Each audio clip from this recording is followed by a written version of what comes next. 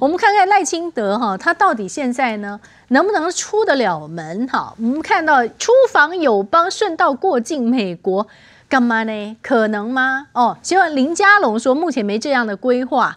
真的是有这样的规划，只是做不到吗？还是说是真没规划？绿营的人士也有说，其实访问中南美洲友邦，过境美国本土是最佳的方案。但是到底有没有可能呢？怎么现在看起来这可能性是越来越低？然后有人甚至还说啊，那要不然的话，呃，访问南太平洋友邦，过境夏威夷或关岛，好，那也可以算是美国的领土啦，这是另一种途径啦。要不然再退而求其次。蔡英文代为出访行不行啊？蔡委员，蔡英文卸任的人，他爱到哪里去就到哪里去啊。是，反正他不能到哪里去才是问题啊。哦，比如要去英国，英国他的母校在那边，他去都不能去，这才是问题啊。他想去德国，德国连门都不让他进。那请问你啊，谢世伟不是驻德代表嘛？你到底平常在都在吃喝玩乐，是什么事都做不了，是不是？再来这个，因为赖清德是有公职身份，有总统身份。所以去才是重点。那请问你去有什么意义呢？你说南太平洋就是去博流啊？嗯，去博流什么意义啊？博流就是美国的附属国啊，对不对？美国说可以就可以，说不行就不行啦，完全是在川普政府怎么说嘛？哦，那我们能够去个认去巴拉圭，不是更好吗？哎，可以过境纽约啊，不是更好吗？但是目前来看的话，就看林佳龙怎么努力啦，对不对？那如果努力不出来，那也没办法哈。不过终归就是一个问题哈，如果你是能够在中美之间做平衡，你就算是残存政权，还是有价值，你还是有力量有价值。如果你偏哪一边，哎，你以为大陆是哪里没办法？那想太多了，好像只有美国可以打台湾牌，大陆打台湾牌可行得很，那怎么打？很简单啦，我就派军队围到你十二海里啊。那美国就很紧张啊！哎，兄弟兄弟，你可不可以离远一点好不好？嗯，我说好啊，要离远一点，手一伸，来交换，对不对？要不然他不客气啊，没事干啊。今天凯达格兰大都发个导弹跟你打一下，对不对？明天哎，对不起，我误打了，可不可以？那没有人说不能啊，嗯，你也拦不住啊。是，或者说，哦，我不小心把你爱国者飞弹机给炸了。而且美国都可以误炸南斯拉夫中国大使馆，为什么不行啊？啊，或者在空中，或我们 F 十六很强很强，他故意把你打击落一架，你能反击吗？而且他这个美国讲啊，I'm sorry 哈，我把你的小弟给打伤了。来来谈，啊，你要真的开打吗？试试看。这个在中国大陆在打台湾牌，他一方面就告诉全世界，我在每天绕，每天绕，这个就是我的领土，哪也不服气，站出来。你 没有人敢不服气啊？对，他已经用实力告诉你，台湾就是中国领土，是要行政区啊、省啊，或者什么什么波多黎各，或者是北爱尔兰，随你讲，你来谈。嗯，那赖清德敢去谈吗？嗯，那就整天骗台湾老百姓，我们能够独立，我们是有主权独立国家，我们民主自由的国家，对，跟美国跟美国民主党一样，整天画虎烂，有用吗？这个是个实力对决的时代。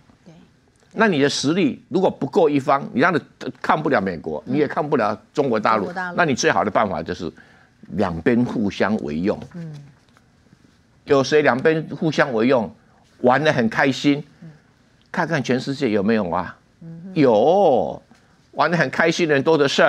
对，那就是你不会啊，对不对？举个例子，哎，巴西很开心呐。他在访问中国之前，先跑去美国走一下。哎呀，对对对，哎，哎，我跟你打个招呼啦，哈，老大，我跟你打，我要去坐一趟，家坐一坐，你不要生气啊，对，就这样跟你玩啊。是，印度也厉害，印度印度也一样啊，印度更投机啊，对不对？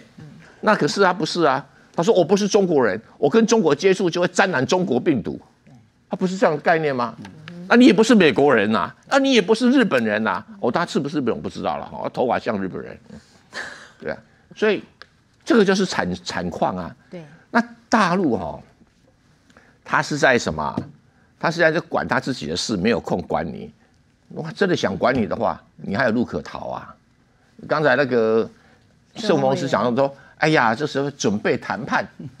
我跟你讲啊，美国根本连谈都不跟你谈，因为大陆一定要跟你谈吗？日本的知名学者，其实，在台湾很多人喜欢听他预测什么呢？预测选情，因为在过去几次他针对台湾的选情呢，确实是有一些神准的预测啦。但是在接下来呢，他现在看川普胜选了，那么到底有没有可能成为台湾的噩梦啊？结果呢，看起来他的论调显然是对于台湾的未来比较悲观、比较保留、比较保守的。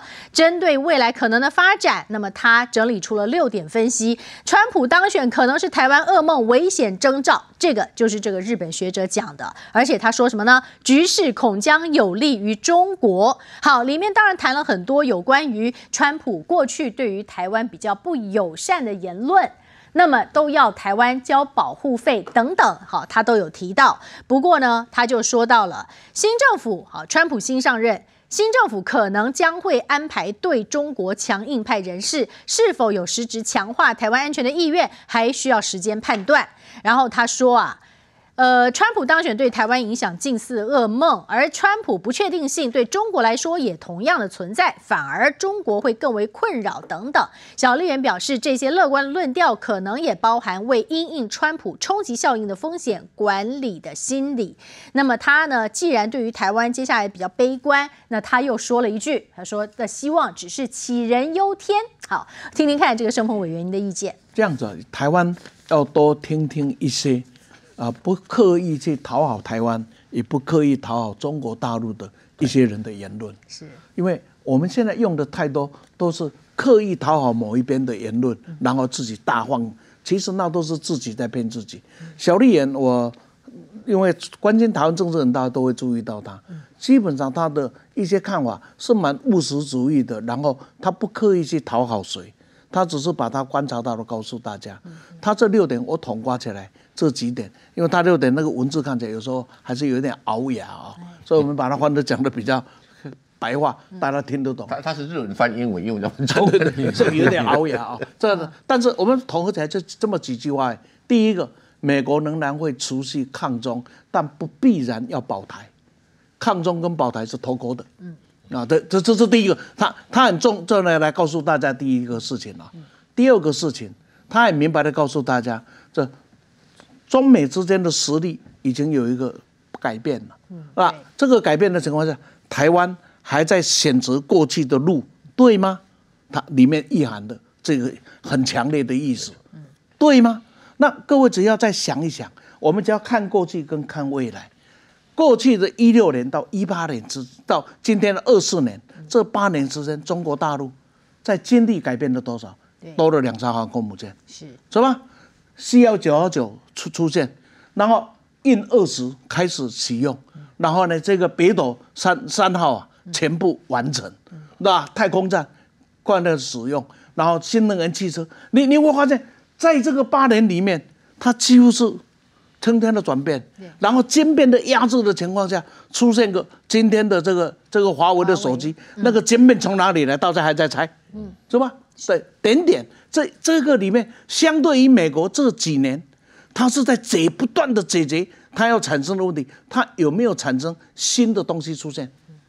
不，你你注意看了，中国大陆不断的产生新的，但美国不断在用旧的，啊对，所以在这个情况，这个诶，我我用这个比较不用数字，是用一个比较具体想让你让你去想一想，这个时候啊，台湾你还在维持你过去的两岸跟中美的政策，啊那你。你按的你你也细哦，我们我们的头脑没有更新，对，因为这个这个改变了，但是我们不愿意去看到这个改变，是，那这个不讨好两边的人，他就告诉你，哎哎哎，改变了呢，啊，你那点点弄安尼，弄家己都都都没去注意哈，那你这样子会很惨哦。OK，这这个是他讲的这么多，事实上他所告诉你的呢，大概就是这样子的一个一个情况。第三个，他说，川普，川普你看他对台湾的。几次的讲法，那不是偶尔一次哦。嗯，他是对了，你们偷我的东西，你们要交保护费，你那个笔尖大小，这个点点点点都都不是偶尔一次。嗯，他是讲了几次，而且讲完以后他没有否认哦。是，他他不像那个拜登说我要还回台湾，然后嘛他他他不不不讲错话了不是，他没有否认哦。也就是说，他根深蒂固的他是属于这样的想法，可是我们不愿意面对。其实这边的整个的讲法来叫做，我们不愿意面对川普这个人，我们不愿意面对整个国际大情势啊，中美情势这样大的改变，我们不愿意面对美国现在要应付中国大陆，心有疑尔，开始力不足了啊，力不足的情况下，他还是会抗中，因为这是他的基基本立场，但是他抗中都已经很辛苦了。他抗中的目不是为了保台，他抗中是为了他自己。啊，这样吼，你你你那想好，所以他六点看起来是很很辛苦的熬牙的文字，事实上他主要的精神就是告诉你是这样的事情。姐妹们总烦恼脸上细纹干燥与暗沉，现在起跟我一起放心交给 KS Royal Face 皇家颜值逆时奇迹系列，KS Royal Face。皇家颜值逆时奇迹系列，它添加五种 EGF，专门防止肌肤老化，强化皮肤修复，增加肌肤弹性水嫩，轻松抚平皱纹，换回青春自信。KS Royal Face 皇家颜值逆时奇迹，活肤露、全效精华、精华霜，即刻启动冻龄密码。